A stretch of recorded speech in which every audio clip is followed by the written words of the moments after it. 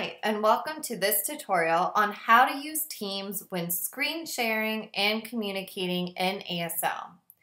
This is an app smash with the Resource Materials and Technology Center for the Deaf and Hard of Hearing, RMTC DHH, and Florida School for the Deaf and the Blind, FSDB, Pineapple PD.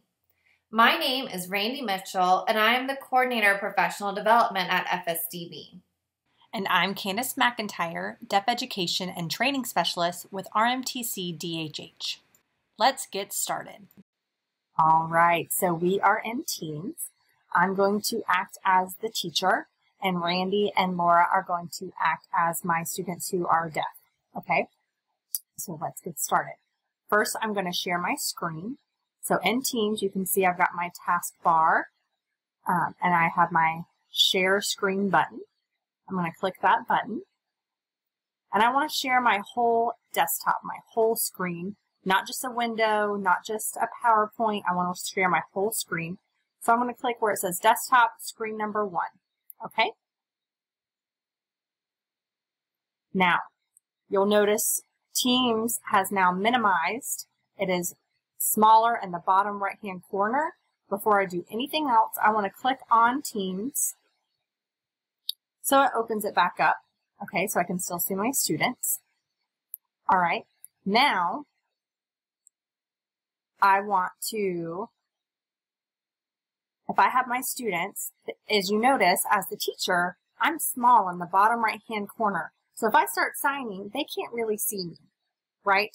So what I'm going to do is I'm going to make teams a little bit smaller. We're going to do some app smashing. Okay, so I'm going to make teams a little bit smaller.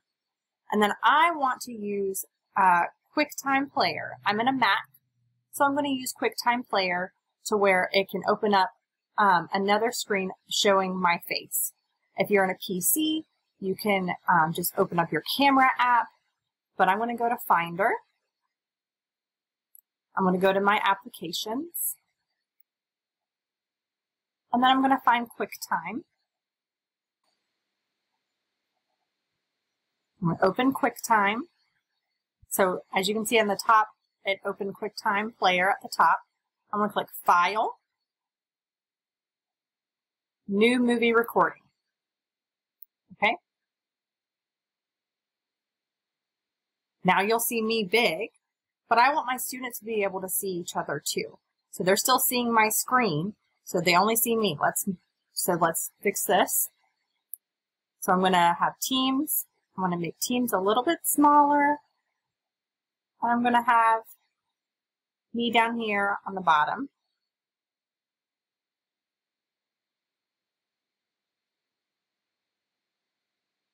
Just moving things around.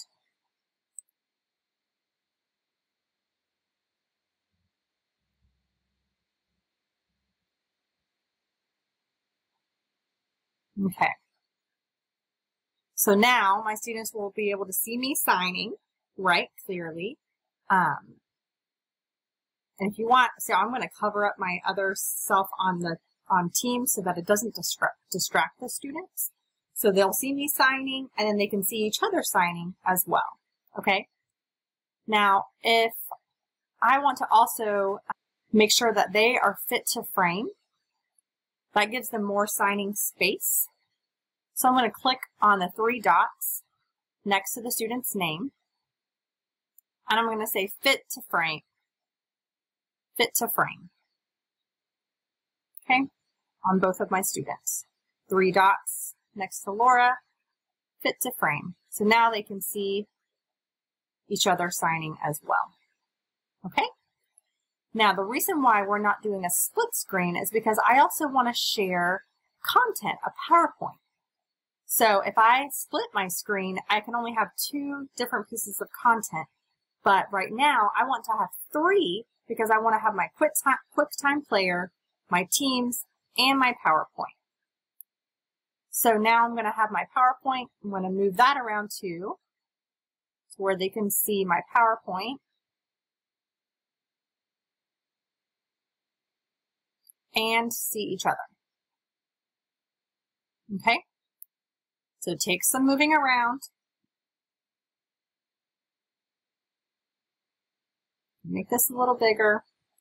Now, unfortunately, since I'm doing it this way, I can't go into present mode because then it would take over my full screen and my students would lose seeing me and seeing each other.